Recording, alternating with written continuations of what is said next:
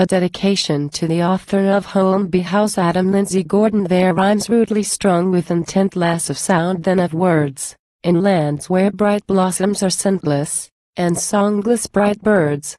Where, with fire and fierce drought on her tresses, insatiable summer oppresses sere woodlands and sad wildernesses, and faint flocks and herds.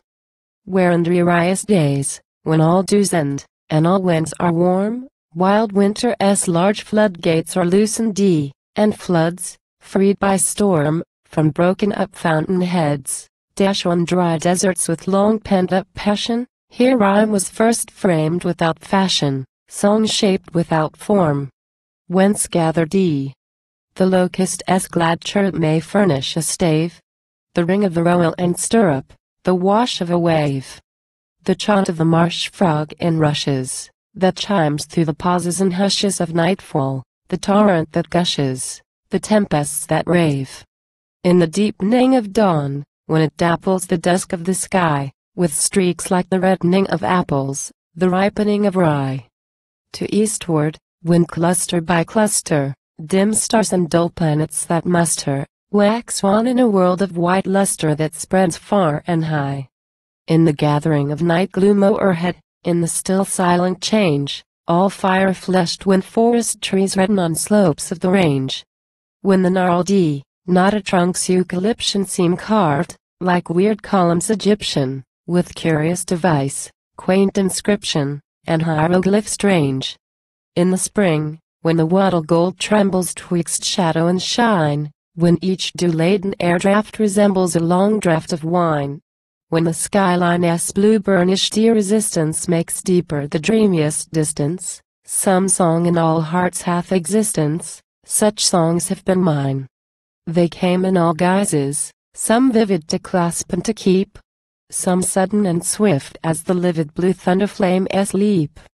This swept through the first breath of clover with memories renewed D to the rover, that flashed D while the black horse turned D over before the long sleep to you, having cunning to color a page with your pen, that through dull days, and nights even duller, long years ago ten, fair pictures and fever afforded, I send these rude staves, roughly worded by one in whose brain stands recorded as clear now as then, the great rush of grey northern water, the green ridge of bank, the sorrel with curved sweep of quarter curl D close to clean flank, the royalist sad as squarely and where the bright uplands stretch fairly, behind, beyond pistol-shot barely, the round-headed rank.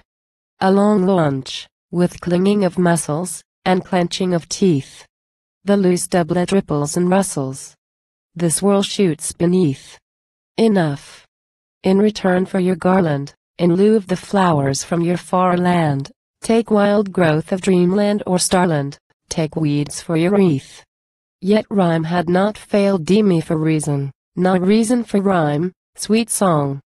Had I sought you in season, and found you in time. You beckon in your bright beauty yonder, and I, waxing fainter, yet fonder, now weary too soon when I wander, now fall when I climb. It matters but little in the long run, the weak have some right, some share in the race that the strong run, the fight the strong fight. If words that are worthless go westward, yet the worst word shall be as the best word, in the day when all right sweeps restward, in darkness or light.